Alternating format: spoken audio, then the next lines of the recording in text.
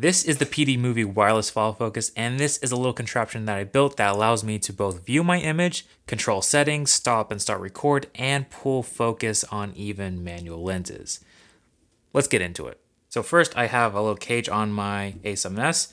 I'm going to take this little hot shoe rail adapter and this is going to lock both the rod and the cold shoe so that way they're both very secure.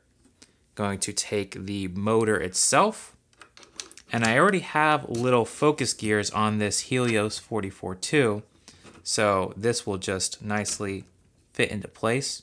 Next we have to install the battery and we can push that down and then there will be a little red light that will light up showing us that it is receiving power. We'll turn that on in just a second. Next, I want to show you the actual controller for the PD movie.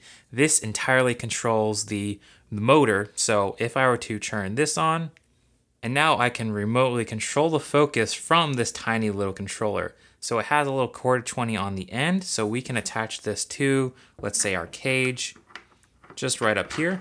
So with this setup, I can smoothly and easily change my focus with just my thumb and pointer finger. I'm not rotating my arm and providing extra camera shake from the lens into the body. Here, I'm just very secure and I can pull focus. So this is a really neat compact setup, which is pretty useful for manual lenses that have extremely long focus throws. So I'm going to take this off and we're going to move over to setting up the wireless remote rig. So this is the remote air that comes with the PD movie. And to use this, you take the small controller and you kind of smush it in to feel it kind of hit its, those threads. And then you rotate it to let it tighten in. Then you're going to keep rotating it until you can't turn it anymore. And now you can utilize this big focus wheel just like a more traditional wireless follow focus. You can write on here, get your focus marks, but this is just the controller. We need some way to actually mount our phone so that way we can pull focus.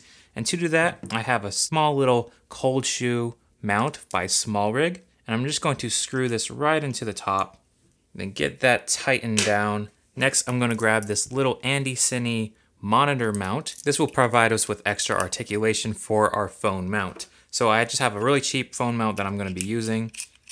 Screw that in, and then we'll grab our phone, slot that in.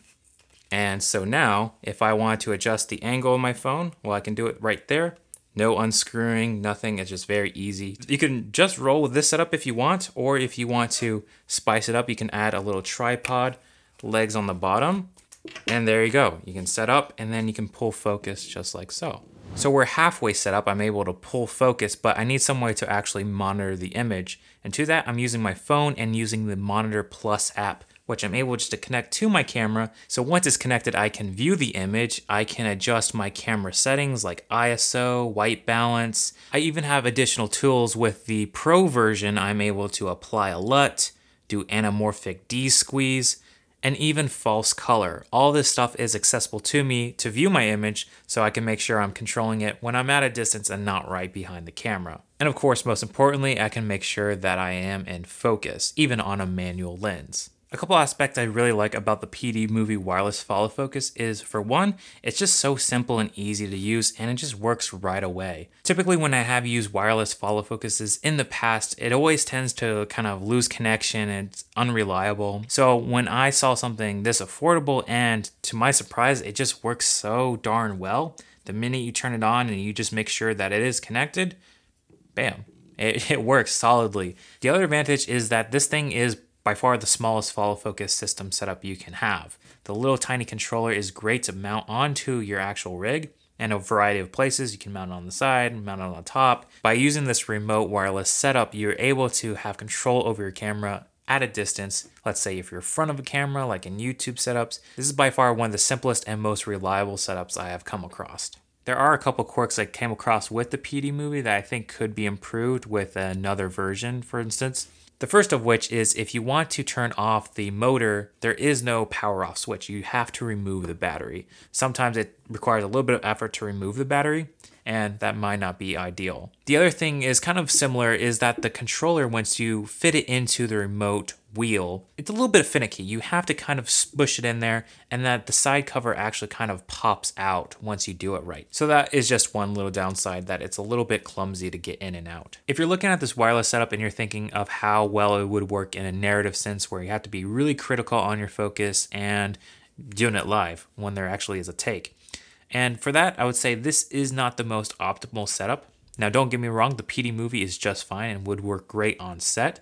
It's the fact that using a phone and the camera connection does cause some latency. So it's not perfect. It can do the trick in a pinch. Again, for very simple setups with nothing happening too crazily, I think it does work just fine. So that's going to wrap up the review of the PD Movie Wireless Follow Focus. If you guys have any questions, leave a comment down below. Other than that, hope you guys have a great day and I'll catch you in the next one. Peace.